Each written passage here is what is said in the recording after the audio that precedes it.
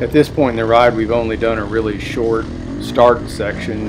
Uh, none of us know each other. There's 16 people on the ride, and none of us, almost none of us, know each other. So we don't know where we fit as far as who's faster and slower and better in the technical and so forth, like you might uh, learn after you ride with somebody a while.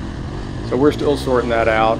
And the ride leader had said, uh, "Hey, you know, fast guys go ahead." And I don't know whether I'm a fast guy or not. I'm the dead slowest guy or the fastest guy, depending on which group I'm riding with. So um, I went ahead and went with the faster guys, and we're kind of sorting it out here as we go along. So this is the second section over some fairly technical terrain, and it's a pretty good time. I like this trail, and it's a it's a bear going the opposite way on it, but uh, a lot of downhill rough stuff this direction.